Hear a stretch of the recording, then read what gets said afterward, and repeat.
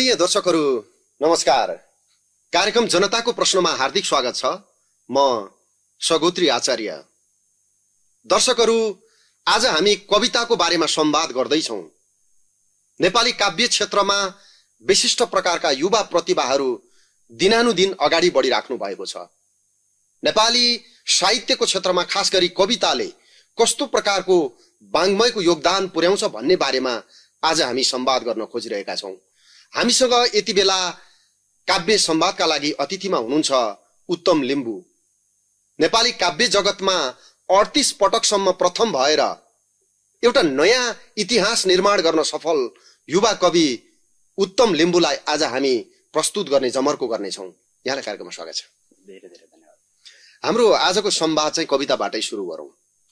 यहाँले अहिलेसम्म सुनाउन बाँकी अथवा बिल्कुलै नयाँ सृजना हाम्रा दर्शकहरूका लागि पस्काउन। हुन्छ। कविताको शीर्षक तस्बिरमा अल्झिएको सम्झनाको मर्लर तस्बिरमा अल्झिएको सम्झनाको मर्लर भेटिएला या नभेटिएला सम्झनाको भङ्गालोमा छुट्दै छुट्दै छुट्दै छुट्दै बगी जानेलाई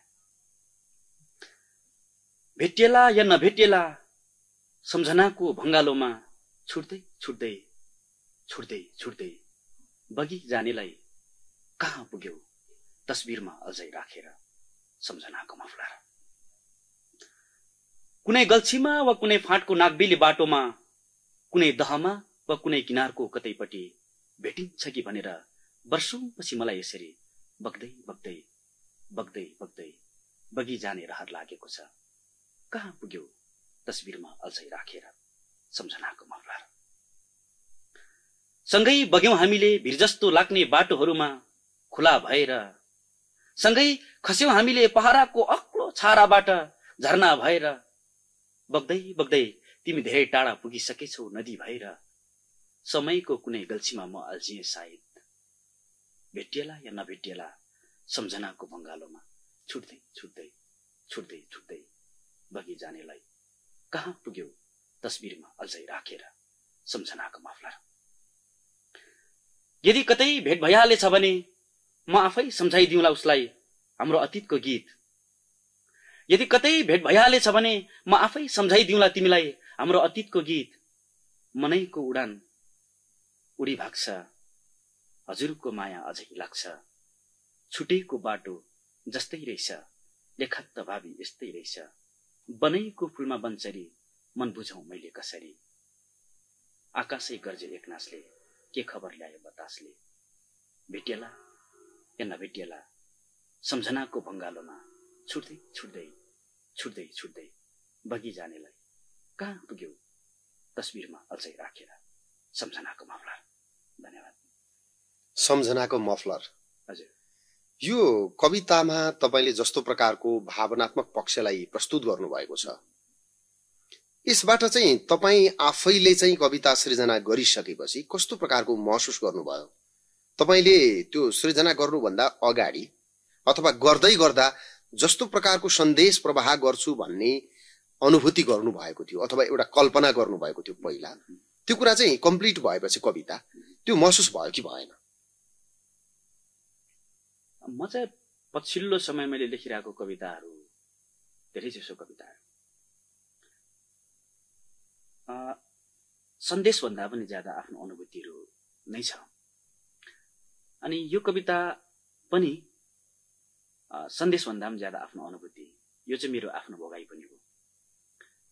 यस कारणले पनि यो कविताबाट आम मानिसले मेरो कविताहरूलाई रुचाइदिनु हुने आम श्रोताबिनहरूले यो चाहिँ एउटा योबाट के सन्देश लिन सकिन्छ भन्दा पनि यो चाहिँ महसुस गर्ने कुरा हो जस्तो लाग्छ होइन? यो कविताको ब्याक स्टोरी एउटा छ र त्यो ठ्याक्कै ब्याक स्टोरीलाई मैले एउटा यो कविताको नाम दिएर।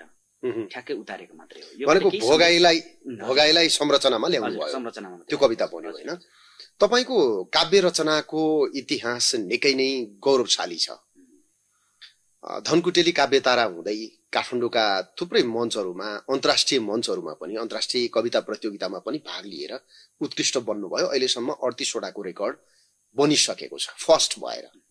यो हामीले अघि नै प्रस्तुत गरिसकेका छौँ होइन? यस्तो प्रकारको भाग्यमानी कवि सायद कमै मान्छे हुन्छन् होला। यो यहाँको परिश्रमको फल पनि होला। आफूलाई अडतिसवटा कविता प्रतियोगितामा प्रथम बनाएर विभिन्न कृतिहरू समेत सार्वजनिक गर्दै अहिले सृजनाको क्षेत्रमा आफूलाई तल्लीन राखिरहँदा चाहिँ तपाईँले आफ्ना खुसीहरू के के प्राप्त गर्नु भएको छ?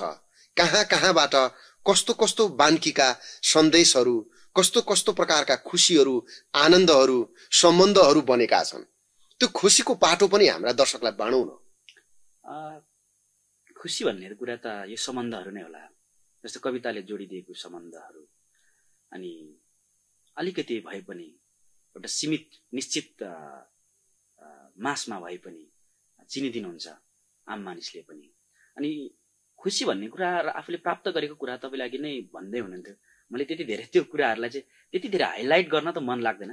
तथापि पनि यो अडतिसवटा प्रतियोगिताहरूमा प्रथम भएको जो कुरा ल्याउनु भयो यो प्रतियोगिताहरूमा प्रथम हुनुभन्दा ज्यादा खुसी चाहिँ सम्बन्धहरू नै होला लाग्छ मलाई।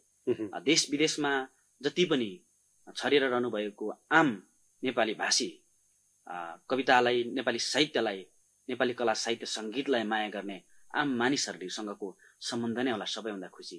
जस्तो कि यो कविता नलेखेको भए सायदै तपाईँसँग पनि मेरो भेट नह नहुन्थ्यो होला। यो कविताकै कारणले लेखनकै कारणले यहाँसँग पनि भेट भयो र हजुरसँग पनि यस्तो एउटा सुमधुर सम्बन्ध बनाउ बनाउन पाएँ। अनि खुसीहरू भनेको चाहिँ यिनीहरू होला जस्तो मलाई चाहिँ के लाग्छ भने आजभोलि चाहिँ खुसी हुने तरिका मान्छेको आफ्नो आफ्नै तरिका होलान्। र मलाई चाहिँ मैले कतिपय कुराहरू फेसबुकहरूमा पनि सेयर गरिरहेको छु मेरो खुसी हुने तरिका चाहिँ फरक छ। त्यही भएर पनि मेरो खुसी हुने तरिका चाहिँ यी सम्बन्धहरू नै होला मात्रै लाग्छ। अरू त त्यस्तो धेरै यो पाएका पुरस्कारहरू यी यी कुराहरू भनेको चाहिँ सेकेन्डरी कुराहरू हुन् जस्तो लाग्छ। जस्तो पुरस्कार प्राप्त गर्ने सम्मान प्राप्त गर्ने भन्ने कुरा नेपाली समाजले मात्रै होइन। विश्व मानव जातिले नै यो बाङ्मयको क्षेत्रमा खास गरी संस्कृति साहित्य कला भाषाको क्षेत्रमा अभ्यास गर्दै आएको छ। हाम्रो नेपाली समाजले त यथेष्ट रूपमा प्रयोग गरेकै छ।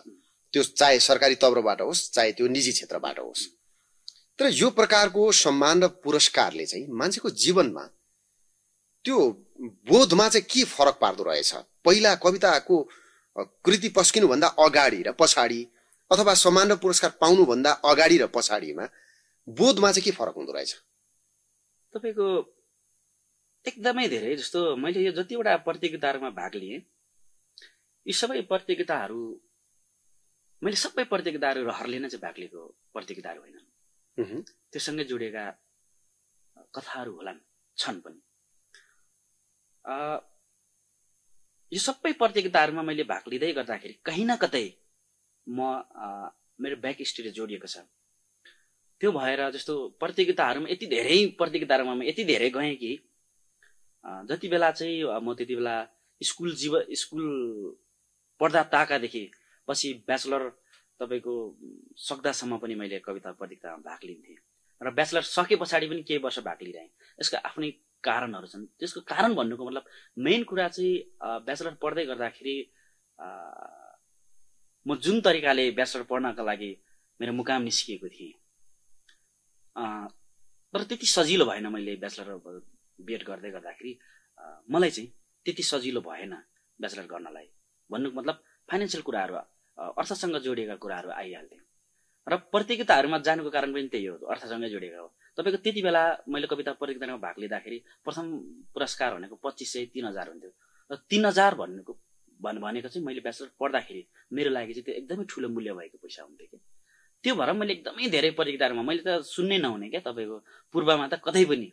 पछाडि म काठमाडौँ छिरेँ तर काठमाडौँ छिर्नुभन्दा अगाडि पूर्वमा चाहिँ जहाँ पनि तपाईँको कविता प्रतियोगिता भन्ने बित्तिकै म पुगिहाल्थेँ क्या। त्यो भएर म यति धेरै कविता प्रतियोगितामा भाग लिएको छु। त्यसको पछाडि जोडिएको कारण चाहिँ मेन चाहिँ अर्थसँग जोडिएको छ होइन? अनि अब त्यति बेला मसँग कुनै जस्तो आय स्रोतहरू पनि थिएन। अनि खासमा खुलाउनै पर्दाखेरि चाहिँ म मलाई ब्याचलर जस्तो मैले प्लस टू गरिसकेपछि म ब्याचलर पढ्न पढ्छु होला जसरी मुकाममै निस्केर त्यहीँ बसेर तपाईँको पढ्छु होला भन्ने सोचमै थिइनँ। मैले प्लस टू गर्ने बित्तिकै तपाईँको मैले गाउँकै बोर्डिङ स्कुलमा पढाइरहेको थिएँ। अनि मैले ती जब गर्न थालेको थिएँ तर म ब्याचलर चाहिँ एउटा जोइन मात्रै गर्छ होला इक्जाम दिन्छु होला भन्ने थियो। तर त्यसको इन्सिडेन्ट चाहिँ के भन्दाखेरि मलाई गाउँदेखि कुनै अहिले त म नाम खोल्न चाहन्न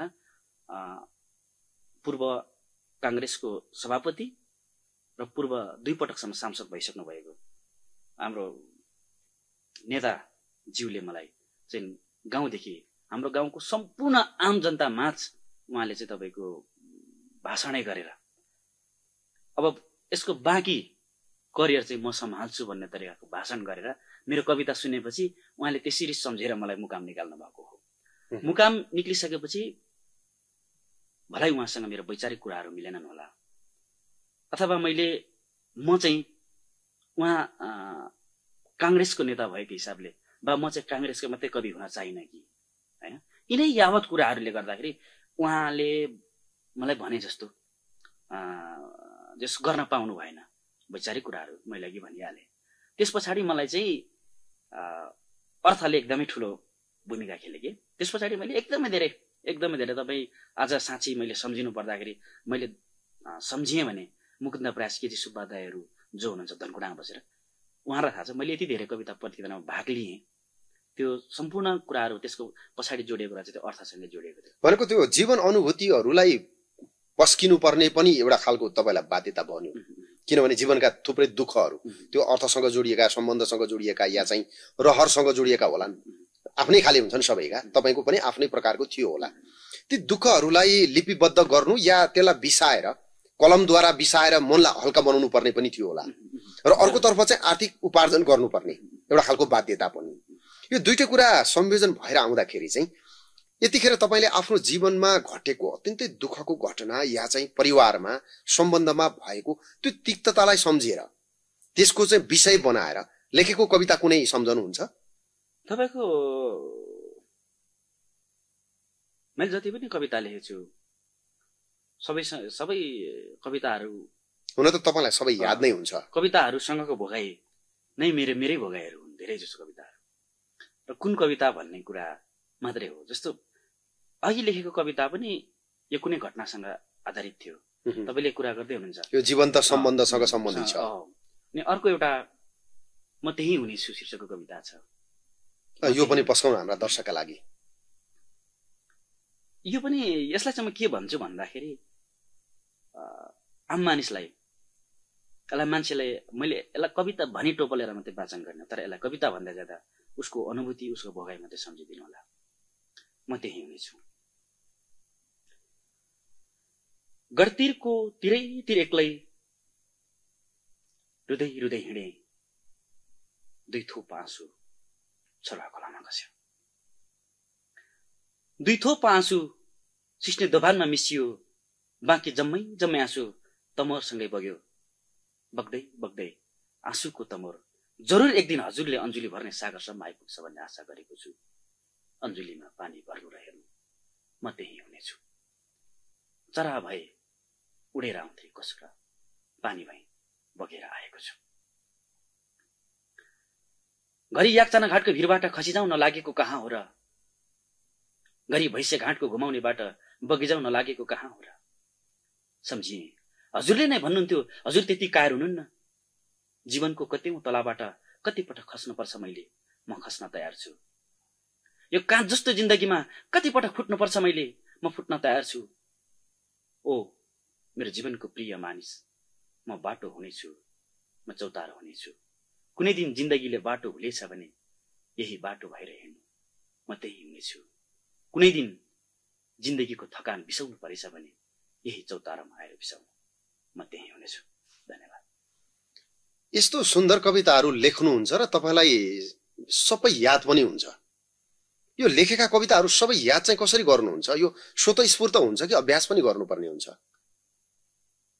मलाई सबैले सोध्ने क्वेसन प्रश्न कसरी तपाईँ कविता घोक्नुहुन्छ कविता घोक्नलाई यो मैले कुनै पनि तपाईँको के भन्ने?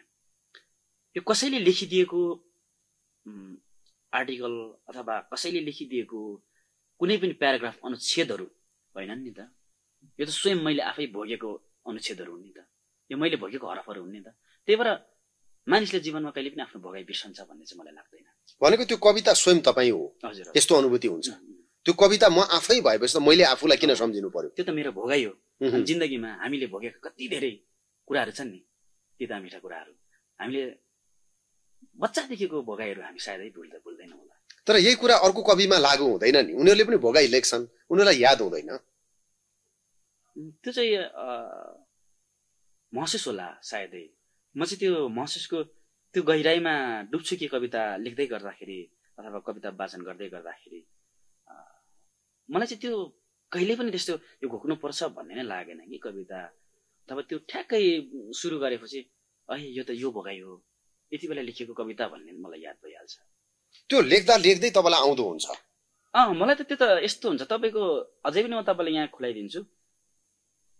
मैले कति कविताहरू जस्तो मेरो पहिलेको कविता सङ्ग्रह जो आयो त्यस पछाडिका कुनै पनि कविताहरू मोबाइलमा त्यति धेरै मैले एक दुईवटा अहिले अब चाहिँ किनभने अब चाहिँ पुस्तकको तयारी गर्नुपर्छ भन्ने हिसाबले मैले टाइपिङ सुरु गरेको छु नत्र भने कुनै पनि कविताहरू टाइपिङ छैन अहिले पनि मेरो। मैले डायरीमा पनि लेखाएको छैन त्यो सबै मेरो मैले चाहिँ आफूले आफूलाई आफ्नै मस्तिष्कमा मात्रै खेलाइरहेको कविताहरू यी सबै कविताहरू।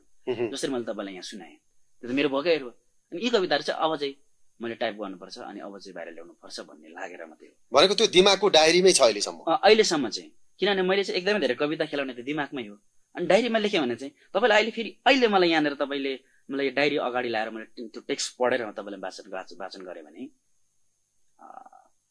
मैले नहेरी वाचन गर्दाखेरि जुन कन्फिडेन्सका साथ वाचन गर्छु त्यो कन्फिडेन्स नहुन सक्छ। मेरो फिलै पुग्दैन कि।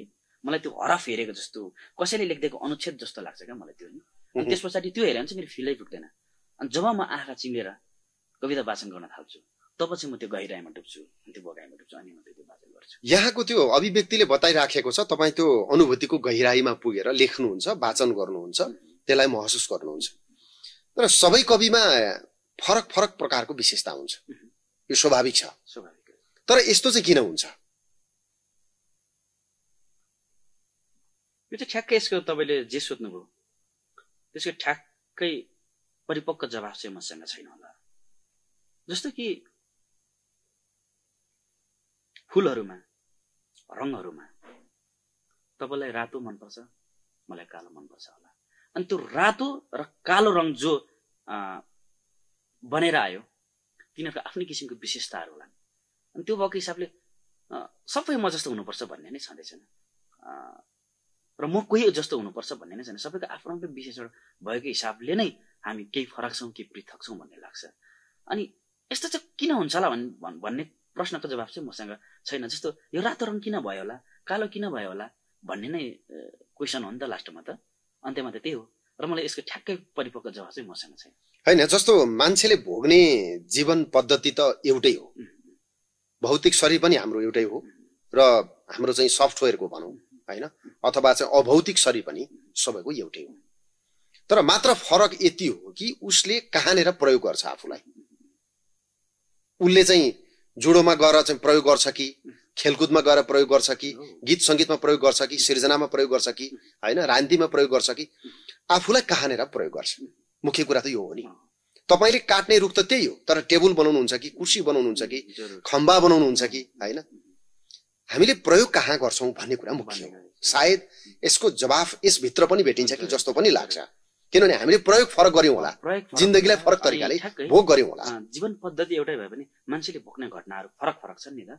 त्यो भएको। हिसाबले पनि अलिकति फरकै हुन्छ कि? तपाईँले आफूले आफैलाई निहाल्दाखेरि चाहिँ कस्तो रूपमा पाउनुहुन्छ? निकै वर्ष पहिले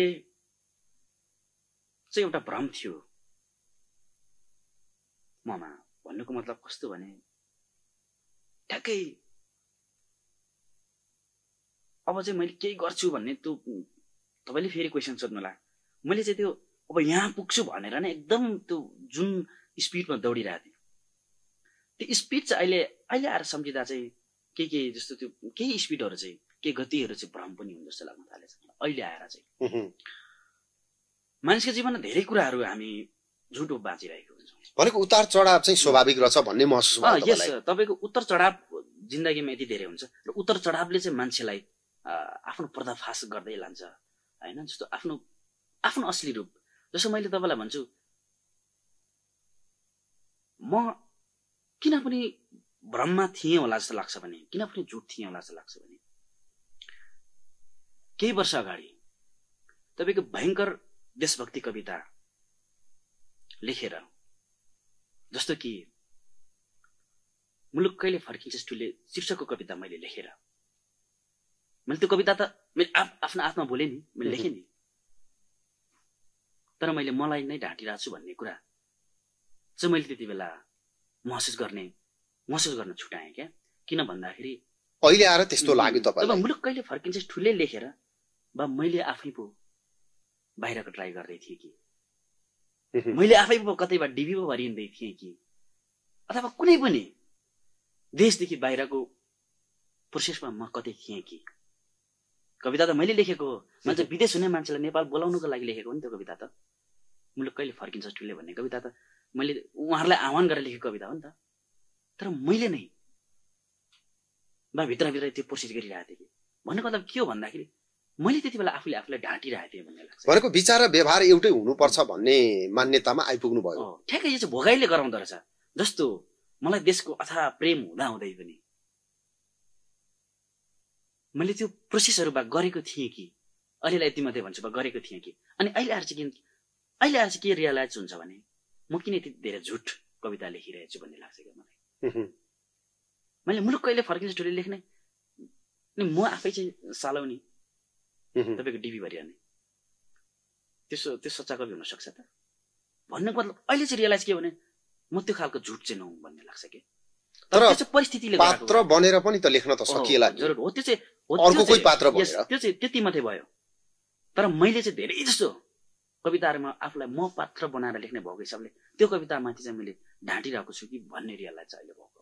जस्तो तपाईँले त्यो हिजोको आफ्नो बुझाइलाई अहिले बदल्नु भयो केही हदसम्म होइन? केही बुझाइहरू मेरो एकदमै धेरै चेन्ज भएको छ जस्तो यो कुराहरू। केही बुझाइहरू। त्यति बेला मलाई के लाग्थ्यो भने म जस्तो देशभक्तिको होला र भन्ने टाइप लाग्थ्यो नि त। तर यो बुझाइ त निरन्तर परिवर्तन भइ नै रहन्छ मान्छेको उमेरसँगै भोगाइहरूसँगै समाजमा तपाईँको जस्तो प्रकारको अन्तर सङ्घर्ष हुन्छ अथवा जस्तो प्रकारको सम्बन्ध पारस्परिकता हुन्छ त्यसले मान्छेलाई त बदल्नै लाने नै हो बदलेरै लाने हो। जिन्दगी त एकै ठाउँमा अडिरहन त सम्भव छैन। विचार पनि त्यही नै हो। यो स्वाभाविक प्रक्रियामा आजसम्म आउँदाखेरि चाहिँ नेपालका अग्रज भनिएका कविहरू हामीभन्दा अगाडि कविता लेख्नेहरू अथवा उदाउँदै गरेको नयाँ प्रतिभा जसलाई विशिष्ट प्रतिभा भनेर सम्बोधन गरिन्छ र सम्मान गरिन्छ ती कविहरूको सृजना देख्दा चाहिँ तपाईँलाई कस्तो महसुस हुन्छ? अनि सिर्जना त तपाईँको सबैले जस्तो हामीभन्दा अग्रज दाईहरूकै बाटो पछ्याएर त हामी आएको हो। होइन? उहाँहरूको कवितालाई हामीले अनुसरण स्वीकार नगर्ने भए त उहाँहरूको बाटो हामीले पक्कै पनि पछ्याउँदैन थियौँ। त्यो पढ्दाखेरि चाहिँ त्यस्तै लेखौँ लेखौँ लाग्थ्यो तपाईँलाई? यस्तो चाहिँ तर उहाँहरूको बाटो चाहिँ पछ्याइयो तर जिन्दगानीमा यस्तै लेखौँ लेखौँ चाहिँ कहिले लागेन।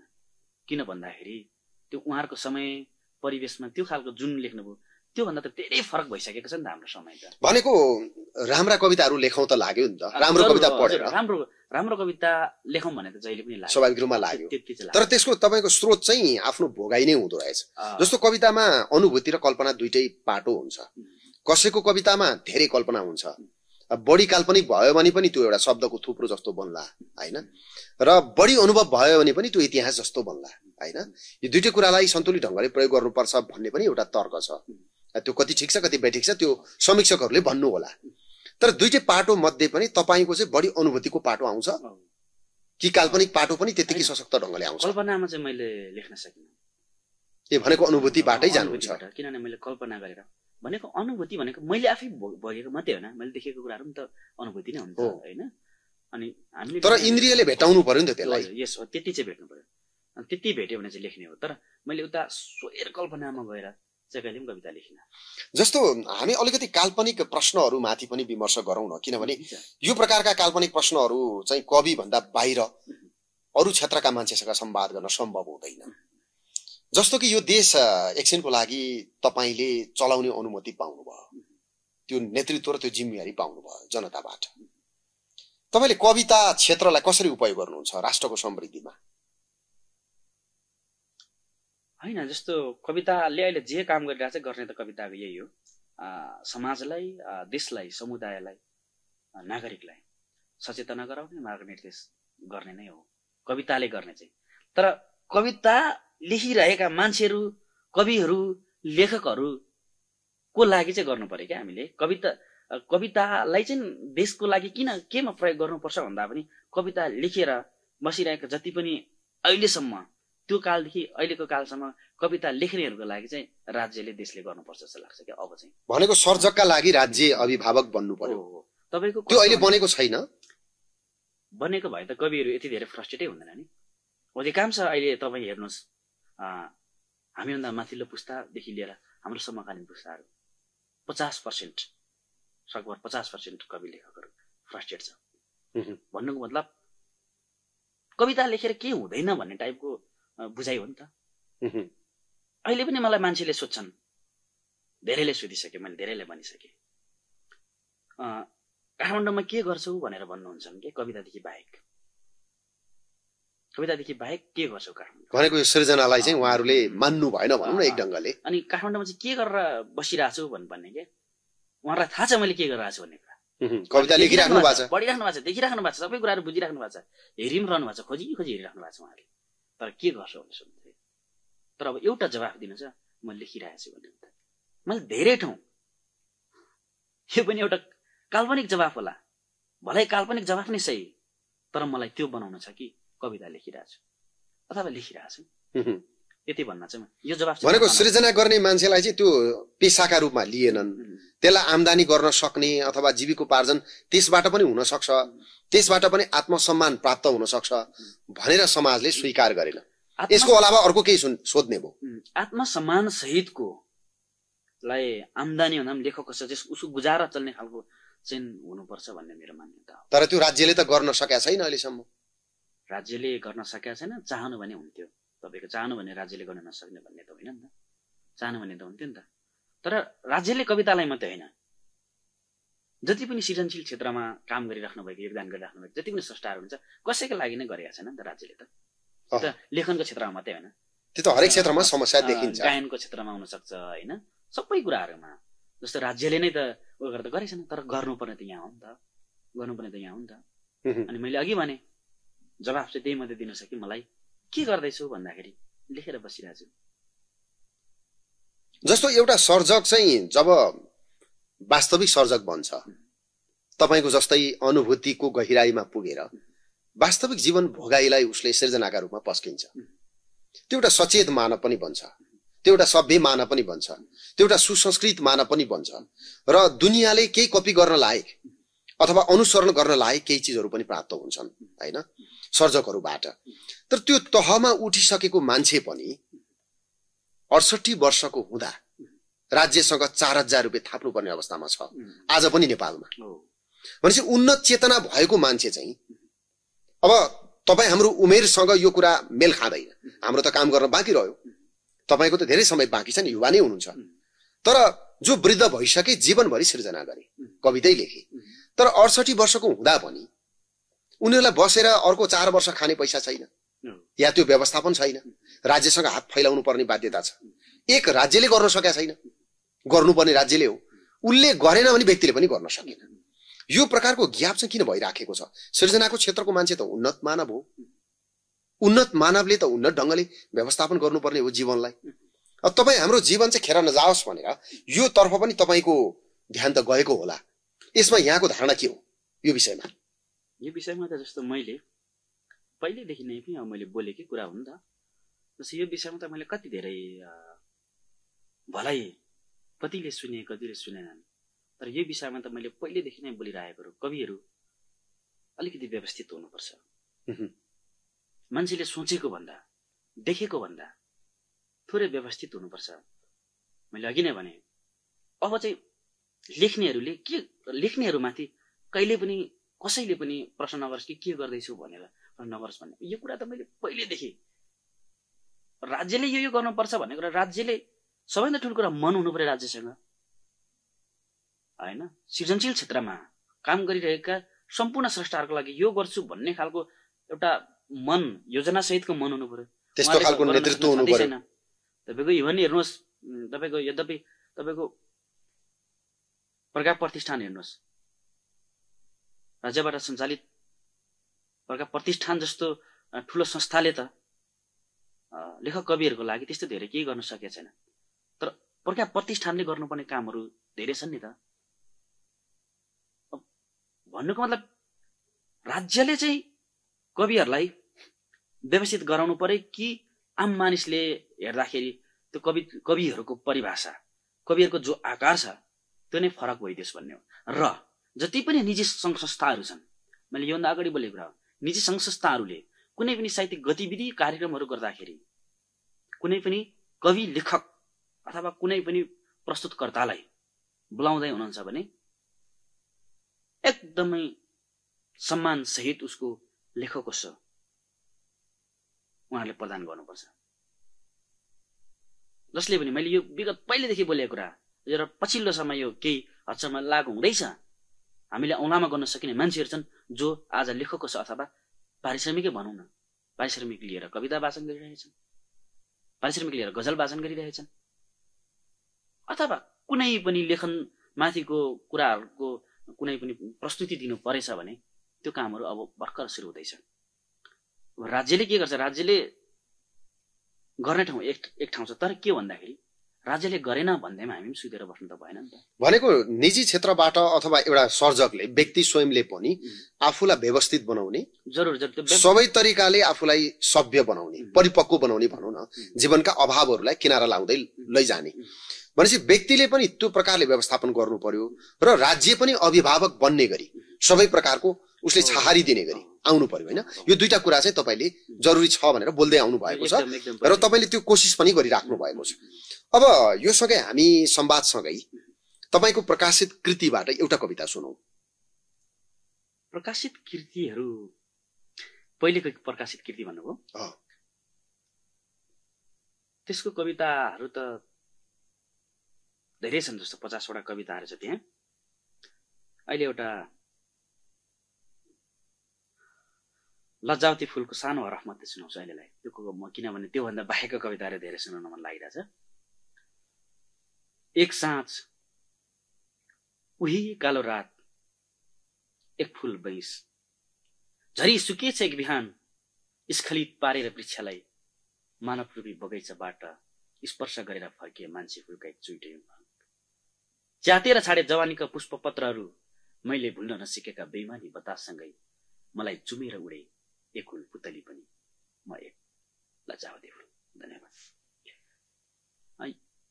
थोरै कुरा बाँधिहाल्छु। यो कविता चाहिँ आजभन्दा धेरै वर्ष अगाडि लेखेकोले यो कविता कुन सेन्समा लेखेँ र आम मानिसले कसरी बुझिदिनुहुन्छ भन्ने कुरा हो खासमा। अनि यहाँ मैले जसरी यो यसको यो कविताको क्राफ्ट छ मेरो अहिलेको कविता लेखनको क्राफ्टभन्दा बिल्कुल फरक छ। भन्नुको मतलब त्यति बेलाको त्यति बेलाको त्यो समय पनि त्यति बेलाको समयको क्राफ्टै फरक थियो कि? मैले यो कविता धेरै वर्ष अगाडि लेखेको हो नि त। हो। अनि त्यति बेला मैले खेलाउने यो जो बिम्बहरू छ त्यो पनि अरूभन्दा फरक छ नि। त्यो भएको हिसाबले यसलाई चाहिँ आम दर्शकले जसरी बुझ्नुहुन्छ त्यसरी नै बुझिदिनुहोस्। यो कविताको जुन गहिराई छ चिन्तनको गहिराई यसलाई परिभाषामा उतार्न सम्भव हुन्छ? तपाईँको परिभाषा भन्ने चिज त मलाई त आजभोलि चाहिँ केही केही परिभाषा हुन्छ जस्तो लाग्दैन मलाई त। जस्तो परिभाषा भन्ने कुरा। अब हामीले कसैलाई हामीलाई जस्तो कसैले सोध्यो जीवन भनेको के हो? भन्नेहरूले जीवन भनेको घाम छाया भनेर गीत बनाइसके जीवन भनेको खोला हो भनेर कविता लेखिसके जीवन भनेको यही हो। जीवन भनेको त्यो पनि त होइन नि त। त्यति मात्रै पनि होइन नि त। त्यो त आंशिक कुरा हो।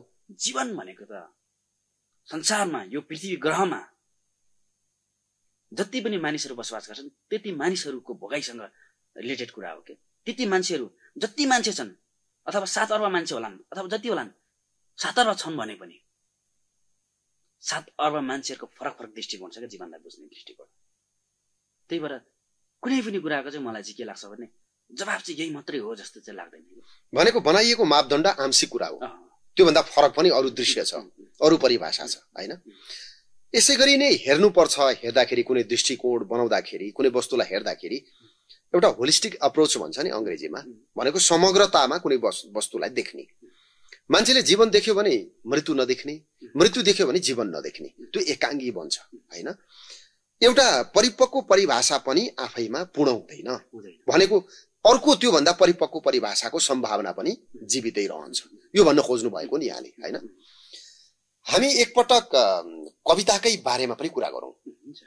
कविता भनेको के हो भनेर एउटा बच्चाले सोध्यो भने चाहिँ के जवाफ दिँदा उपयुक्त हुन्छ? बच्चाले नै सोध्यो भने बच्चालाई जस्तो। जति पनि विद्वानहरूले जति पनि साहित्यकारहरू लेखकहरूले कविता भनेको के हो भनेर जो जो परिभाषा गर्नुभएको छ नि? बच्चाको लागि चाहिँ त्यो परिभाषाहरू ठिक छैन। त्यो चाहिँ उहाँ आफ्नो लागि मात्रै आफ्नो निजीको लागि पनि ठिक हो नि त। त्यही लेभलको मान्छेलाई त्यही। लेभलको मान्छेलाई मात्रै र अब बच्चालाई कविता भनेको यही हो भनेर भन्नु सक्ने त्यस्तो के होला र म त्यस्तो ठ्याक्कै मलाई भन्ने आएन कि? त्यस्तो हुन्छ जस्तो लाग्दैन। बच्चालाई कविता भनेको के हो भनेर के भन्ने? जस्तो बच्चालाई कविता भनेको के हो? जसरी पनि भन्न सक्यो। अहिले जे सुनिरहेको चाहिँ यो जस्तो मैले कविता कसैलाई सुनाइदिएँ भने यो पनि कविता हो। यही हो मात्र होइन। यो पनि कविता चाहिँ हो भन्न सकियो नि। त। यो पनि कविता हो भनेर चाहिँ भन्न सकिएन यो पनि। त्यतिकै। पनि जोडिसके त अर्को अर्को पनि होला। भनेको संरचना देखाएर उसलाई बताउन सक्यो। अँ, यो पनि कविता हो अनि यो पनि कविता। अर्को पनि कविता अप्सनमा राखिदिन सक्यो नि त। तर यही हो कविता भनेको यही हो भनेर त हामीले भन्न सक्दैनौँ। यही प्रश्न नेताका लागि। जस्तो एउटा नेतालाई देश चलाइरहेको नेता अथवा अहिले निर्वाचित भएको कुनै एउटा माननीय ज्यूलाई। कविता भनेको के हो भनेर उहाँले सोध्नु भयो भने एउटा परिपक्व कविले तपाईँ जस्तो अडतिसवटा प्रतियोगितामा फर्स्ट भइसकेको कविले दिने जवाफ के हुन्छ? कविता भनेको के हो भने? त्यो मान्यज्यूले तपाईँलाई सोध्नुभयो। कविता के हो भन्दा के जवाफ दिनुहुन्छ?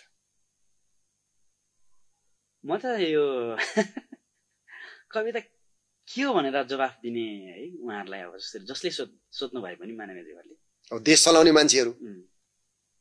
तर कविता भनेको चाहिँ यो पनि होला जस्तो कि तपाईँले बाँचिराख्नु भएको जिन्दगी कविता होला। त्यति चाहिँ भन्न सकिएला जस्तो मैले बाँचिरहेको जिन्दगी अथवा तपाईँले देखिरहेको जो आम मानिसमा देखाइरहेको समुदाय पनि कविता होला र समु समुदायमाथि देखाइएको आशाहरू पनि कविता होला होइन? नेताले त आम नागरिकमाथि जनतामाथि त आशाहरू धेरै बाँड्ने हो। उहुँ। हिजो अस्ति भर्खर चुनाव सकियो। कति आशाहरू बाँडेका छन्। त्यो पनि कविता हो नि त। त्यो आशा पनि कविता होला। हाम्रो जिन्दगी पनि कविता होला। यसको मर्म पकड्दा चाहिँ त्यो हो। तर कथा उपन्यास निबन्ध अरू विधा भन्दा यो फरक छ भनेर त हामीले केही देखाउनु पर्ला नि त।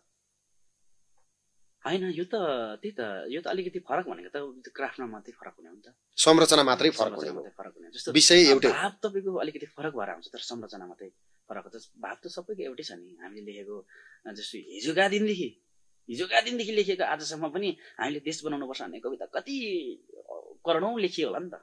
तर आज पनि हामी देश बनाउनु पर्छ। देशमाथि नै कविता लेखिरहेछौँ। कहिले सकिँदैन देशमाथि कविता? यो विधागत र तुलनात्मक विमर्शभित्र। तपाईँले कलम चलाउँदा बढी चाहिँ कवितामा गजलमा चलाउनु हो होइन? बढी त कवितामै चलाउनु कविता हो गजल भन्दा कविता हो। कवितामा चलाउनु होइन? तर अरू विधामा चाहिँ किन लाग्नु भएन? तपाईँलाई ठ्याक्कै लेख्न त लेख्नु भएको छ। होइन मलाई ठ्याक्कै। तपाईँलाई मैले यसको जवाफ चाहिँ मलाई जीवनमा कुनै पनि चिजमा आफ्नो नाम लेखाउनु छ भने एउटै मात्रै शब्द तर एकदम गाढा गरी लेखाउनु मन छ क्या। भन्नुको मतलब मलाई मैले कुनै पनि जस्तो गीतहरू गाएँ भने मलाई कवि तथा गायक भनेर त्यो मुनि जस्तो तपाईँले यो जस्तो अहिले जो हामी तपाईँ हामी कुरा गरिरहेछौँ अब यो अनेर हुँदै गर्दाखेरि मुनि मेरो परिचयमा कवि तथा गायक भनेर लेखियो भने मलाई अलिकति कस्तो कस्तो लाग्छ क्या? मलाई कहिले पनि दुईवटा परिचय मेरो जीवनमा नहोस् जस्तो लाग्छ एउटै परिचय कि गायक कि कवि हुनु।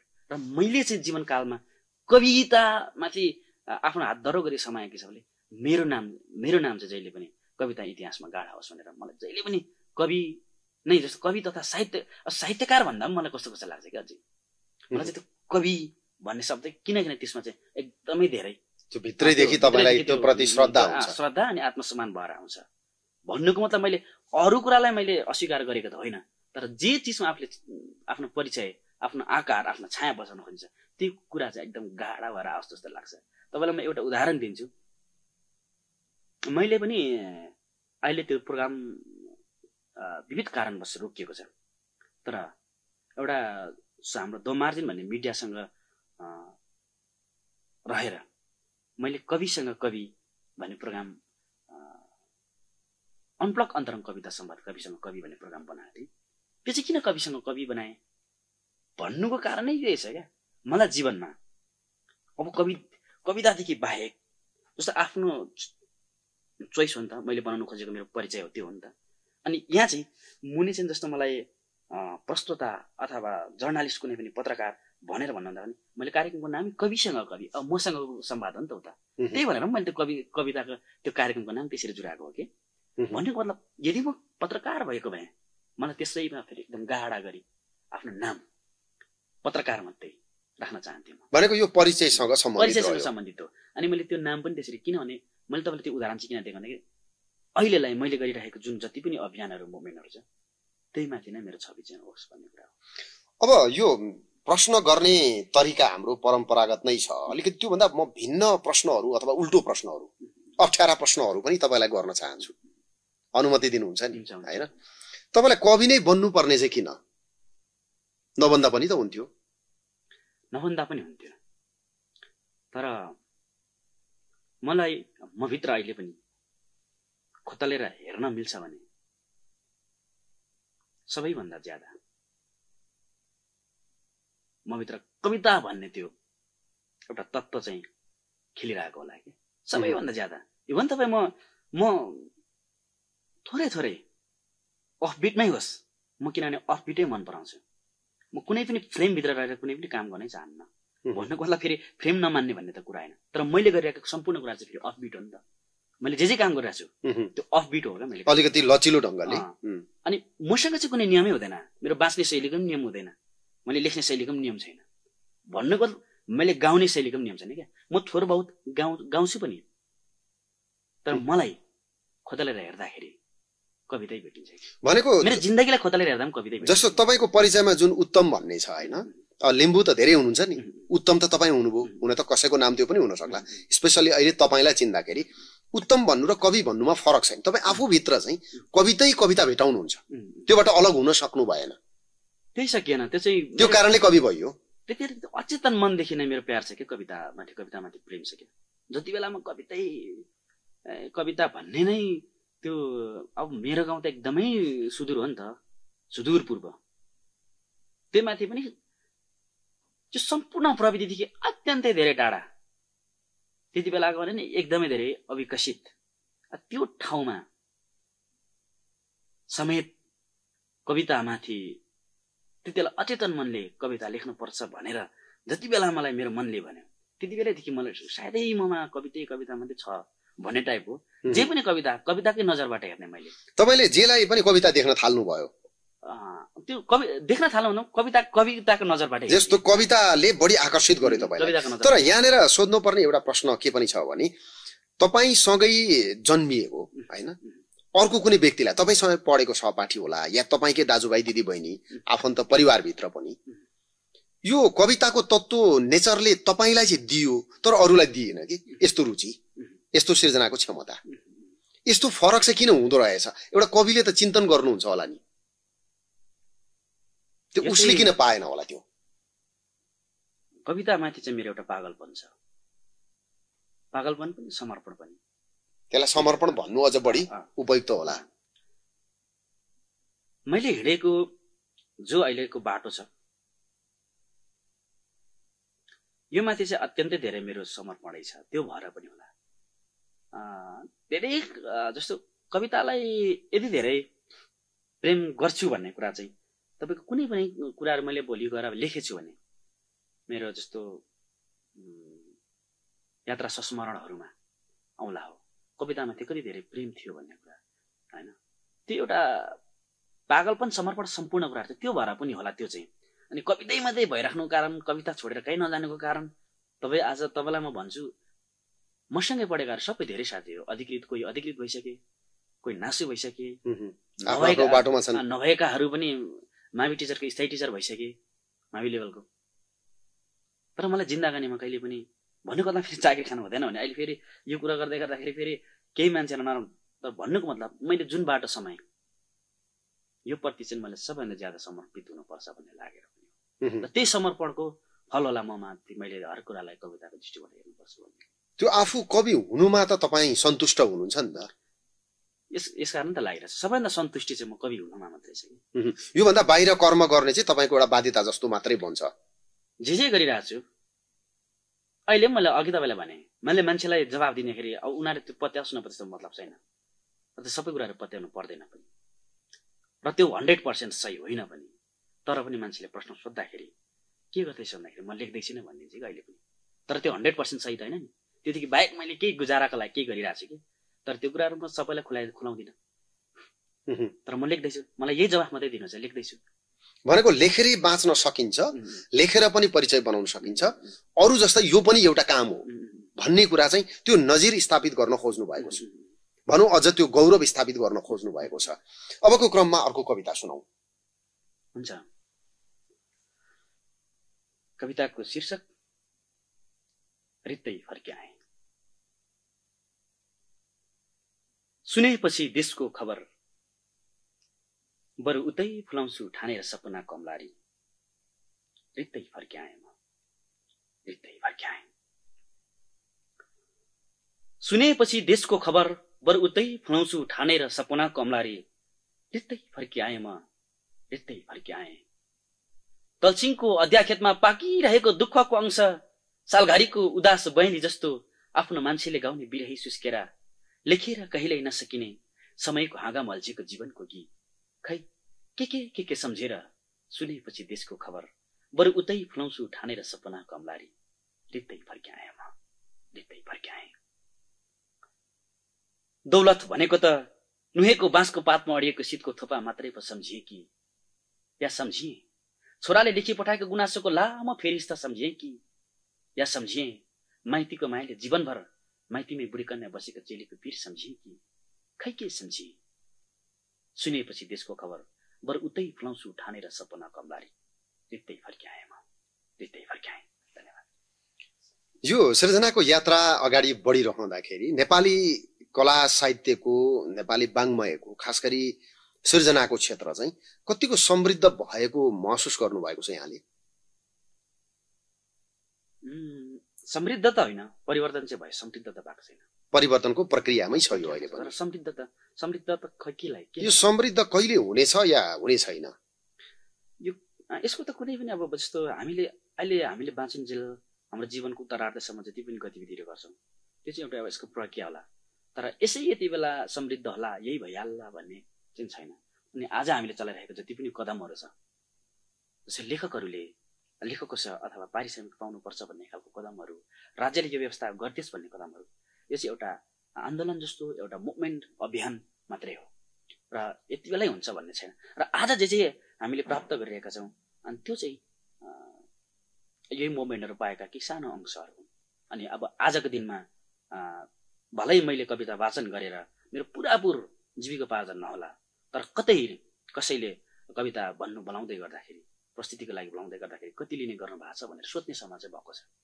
त्यो भएको हिसाबले यो यति बेलै हुन्छ भन्ने छैन। तर हुन्छ बिस्तारै बिस्तारै यो चाहिँ उचाइतर्फ नै जानेछ भन्ने यहाँको विश्वास हो। तपाईँ एक्लै हुँदाखेरि चाहिँ कोसँग हुनुहुन्छ? एक्लै हुँदा चाहिँ खासमा मैसँग हुन्छु। अनि आफूसँग हुनुको अर्थ? यस्तो रहेछ तपाईँको आफू आफैसँग जब आफूले आफूलाई बुझ्ने कोसिस गरि- गरिँदो रहेछ जब आफूले आफूलाई हेर्ने कोसिस गरिँदो रहेछ। तब चाहिँ आफूभित्र धेरै कुराहरू अघि मैले कुरा गरेँ तपाईँलाई। म म कुन कुन ठाउँमा झुट छु कुन कुन ठाउँमा सही छु भन्ने कुरा। त्यति बेला चाहिँ खोतलिने रहेछ क्या एक्लै हुँदाखेरि जिन्दगानीमा मानिसलाई दुनियाँलाई ढाँटेर बाँच्न सजिलो होला तर आफूलाई आफूलाई ढाँटेर चाहिँ बाँच्न नसकिने रहेछ त्यो भएको हिसाबले पनि अहिले चाहिँ म आफूले आफूलाई खोज्ने प्रयासमा हो अनि आफूलाई खोज्ने यात्रामा भेटाउनु भयो त? त्यही हो जस्तो आफूले आफूलाई त नभेटिएला तर आफूभित्र यो यो चिजहरू रङ छ गलत छ यो चिजहरू चाहिँ मैले इरेज गर्नुपर्छ यसलाई चाहिँ निकालेर फ्याल्नुपर्छ भन्नेसम्म चाहिँ भएको छ। तर आफूले आफूलाई त कसै कहिले भेटेला र होइन? यो जस्तो अन्तर मन्थन हामी जे गरिराखेका छौँ नि आन्तरिक पाटोमा फर्किएर संवाद गर्दाखेरि तपाईँलाई कवि बनाउने तपाईँलाई यो कविता प्रस्तुत गर्न लगाउने यो कविता लेख्न लगाउने कवितामै बाँच्न लगाउने एउटा शक्ति त छ नि। होइन? त्यसलाई कसैले देवता भन्ला कसैले प्रकृति भन्ला होइन? नाम जेसुकै दियोस्। एउटा शक्ति त छ होला तपाईँलाई यो चलाउने। त्यो शक्तिप्रतिको तपाईँको बुझाइ चाहिँ के छ? त्यो चाहिँ शक्ति भन्दा पनि मैले जुन बेलादेखि कविता लेखेँ अनि अब लेखेर बाँच्छु भन्ने त्यो चाहिँ परिस्थितिहरू होलान्। शक्ति भन्दा पनि ज्यादा। अब यति धेरै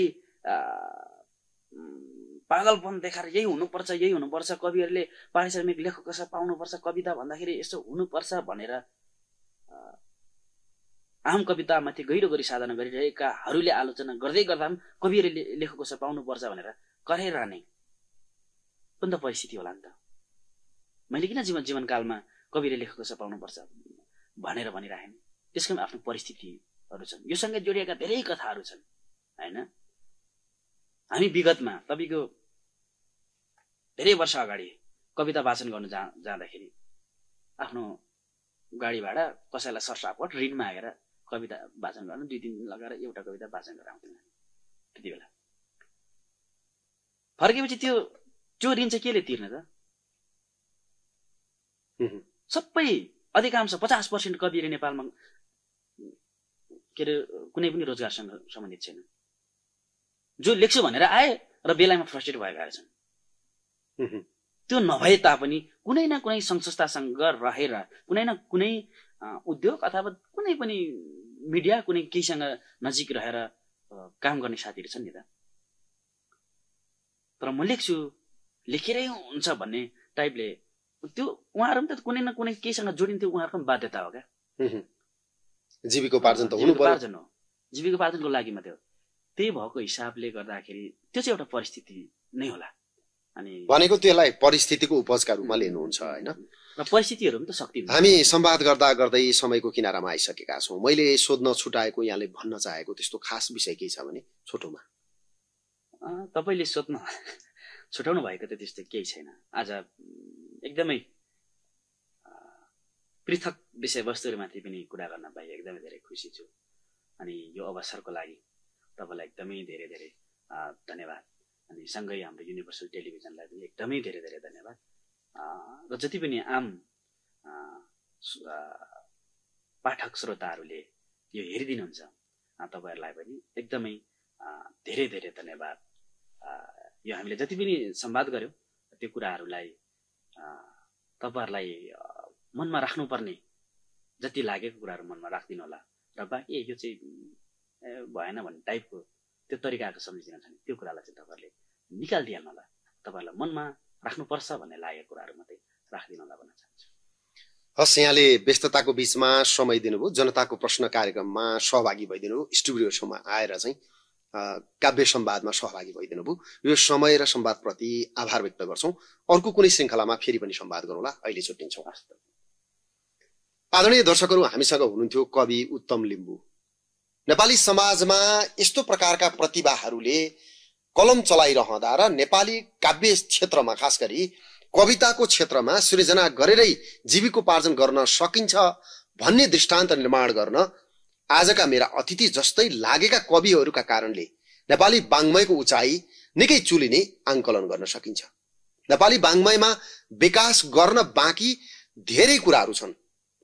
जुन सरकारी तवरबाट जुन उचाइमा काम हुनु पर्थ्यो सर्जकहरूमाथि जस्तो प्रकारको लगानी निगरानी र त्यसको परिणाम निस्कनु पर्थ्यो त्यो हुन सकेको छैन।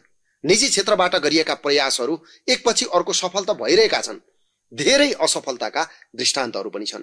यी सबै कुराहरूको बिचमा एउटा सर्जकले आजका मेरा अतिथि जस्तै सर्जकले आफ्नो सिङ्गो जिन्दगी सृजनाका निम्ति खास गरी कविताका निम्ति समर्पित गर्नु हामी सबैका लागि गौरवको विषय हो।